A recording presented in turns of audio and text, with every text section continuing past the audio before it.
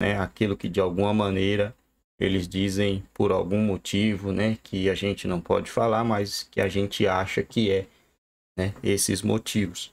Porque não tem lógica uma coisa há quatro anos ser criminalizada e agora a coisa inventar o um nome emenda disso, emenda daquilo, é o amor, o amor daqui, o amor dali, né? e os petistas estão lá sem saber nada, sem saber o que realmente é o que está acontecendo, sem saber se eles podem comprar, porque a legalidade, vamos falar assim, né? A leiga, o leigalismo, a mente leiga deles, não dá para, não deixa eles entender, né? Não é culpado também, né? Tinha que mudar, tentar buscar informação verdadeira. Gente, todo bajulador, né? Tudo aquilo que concorda demais, tudo aquilo que não tá certo, né? Você tem que desconfiar, a gente tem que andar sempre desconfiado. Olha, tal fulano fez isso, espera aí.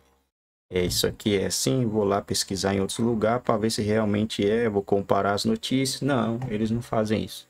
Eles têm como verdade absoluta aquela emissora lá, né? Infelizmente. Lula cita perseguição naquele país né, apenas como disputa. Eu fico pensando, né, os cristãos que apertaram o botãozinho vermelho. Qual será, qual será a desculpa deles agora, né? Eles vão falar que é fake news também, porque ele falou, eu vi o vídeo ele falando isso daí.